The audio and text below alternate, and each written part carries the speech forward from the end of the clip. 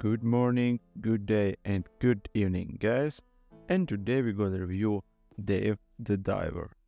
I wasn't sure about Dave the Diver, the whole concept of diving into an ocean, spearfishing animals, and then taking them back to cook a sushi restaurant wasn't sus at best.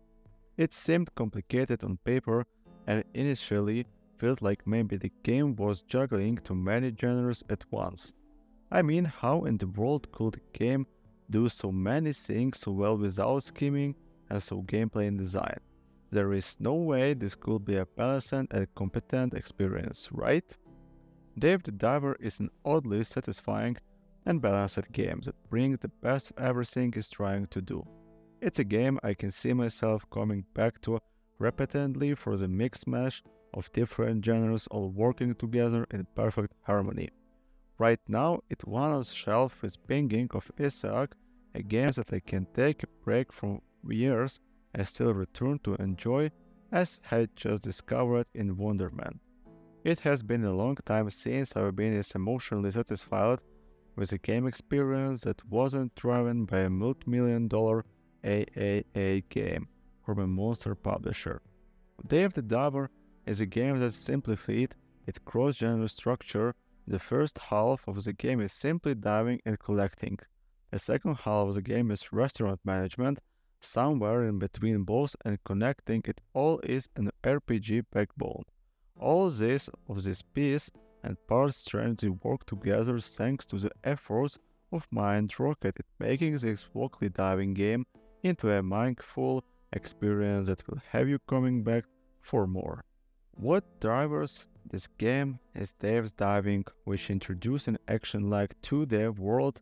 Dave swims around and spears fish of various types, collect hidden treasures, and is offered a side quest to accomplish under the sea by those looking for help.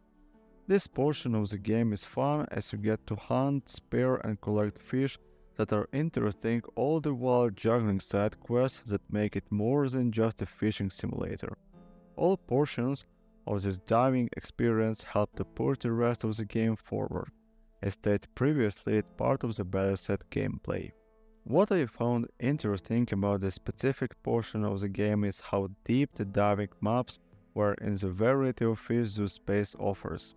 I'm not sure I've been as engrossed in exploring a 2D world since the days of Castlevania Symphony of the Night. The maps as Dave and the Diver go far into the abyss, where you are encouraged to catch fish to keep exploring. The game divides the rarity of the fish with the depth of the space, so the further you go down into the deeps, the more interesting and different fish there are to capture. You can also find a bevy of different items along the way, such as better weapon and mysterious ingredients, which adds to the next portion of gameplay. Encouraging the player to keep going and giving them reason to keep exploring is a wonderful design, especially when it's cleverly done. As is the case with Dave the Diver, the different fish certainly stoke curious flame that needs to find the next best fish. Before we get to the next part of the game, the gameplay mechanics for this segment of the overall gameplay are easy to pick up on as is entertaining to play. Fishing works like this. You aim, shoot and pull in fish. As simply as the sound there is some hiccups to the process depending on what fish you are trying to haul in. In the early stage of the game you could struggle to pull in fish or you can outright not have the capabilities to capture them. This harkens back to the RPG backbone, where you push forward with accomplishing side quests to upgrade Dave's equipment to do more. The more you do in the game, the easier is to acquire more complicated and powerful fish. It's slowly combination or going ABC that you can do DFE.